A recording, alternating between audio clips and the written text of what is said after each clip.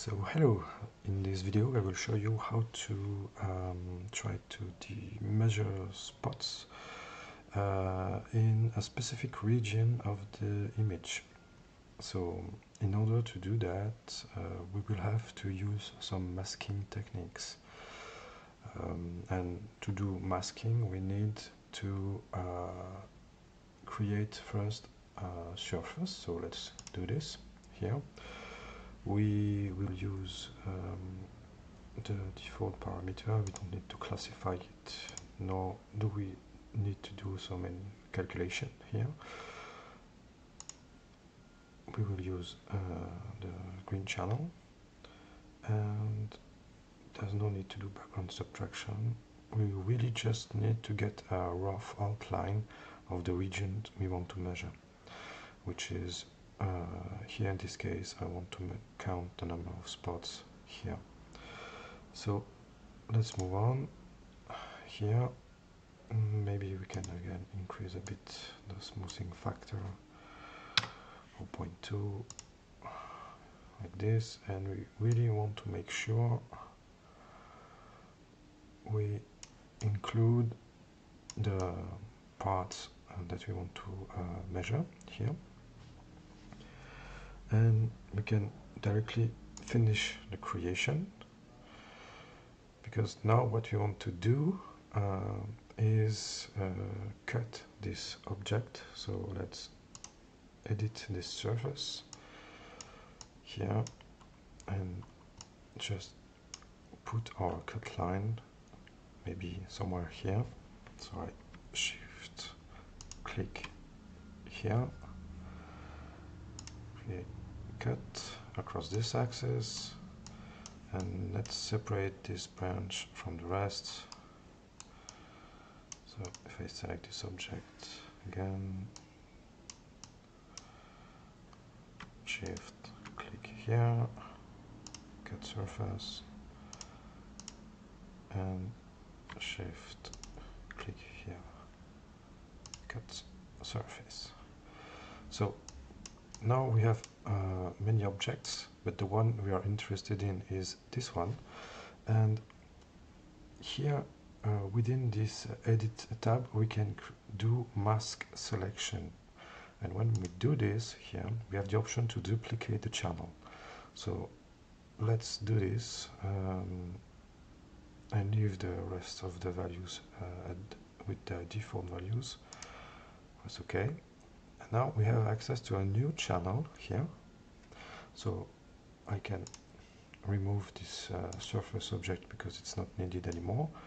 And if I uncheck the original channel what's left here is really the part where we want to do our measurement. So here we have quickly defined manually a region uh, where we want to do our spot detection. So let me just quickly show you how we I would do that. I would now click add new spots.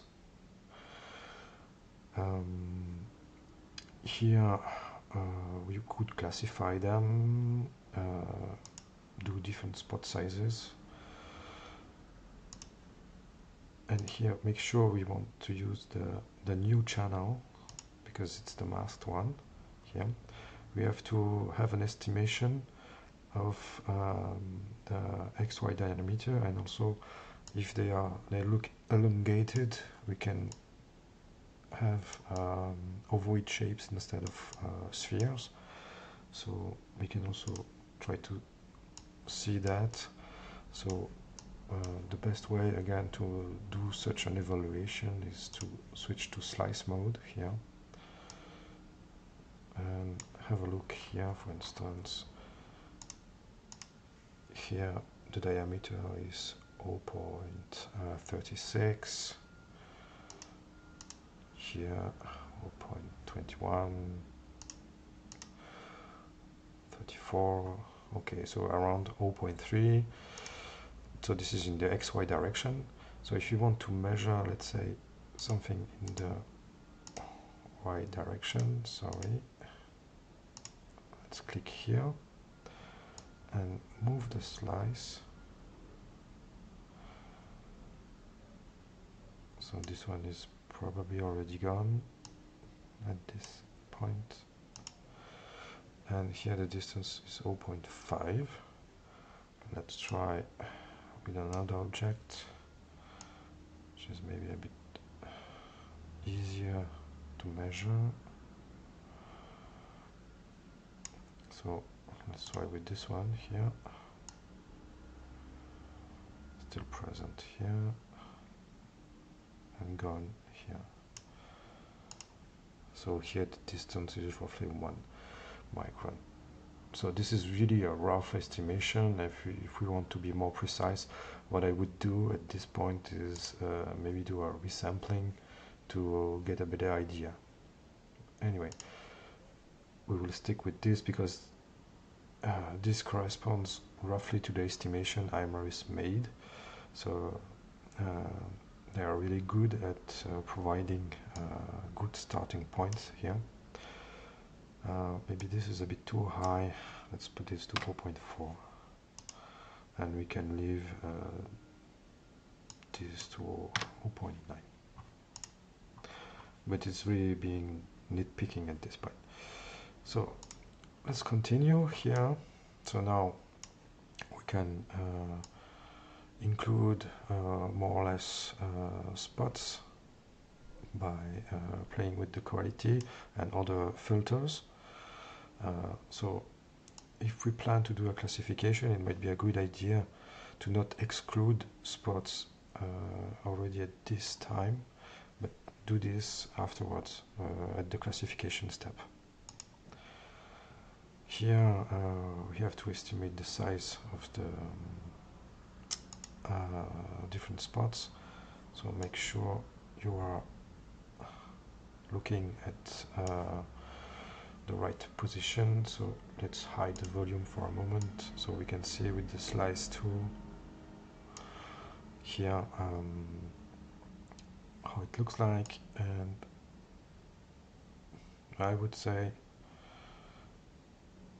something like this might be quite accurate.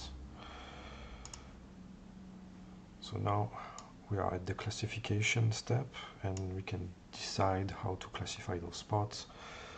So again we have different filter types um, taking one parameter two parameters or just plain machine learning. So here let's say we want to classify the spots um, by the volume. So we can quickly show uh, which are the large spots and which are the small ones. And we can finish the analysis here. So if I put my whole volume back with all the channels maybe something like this you can see that we have now done our spots uh, measurement and classification across just one part of our data set. So we can now have uh, numbers here um, just for this uh, specific branch. Okay, so I hope uh, this will help you and have fun. Bye bye.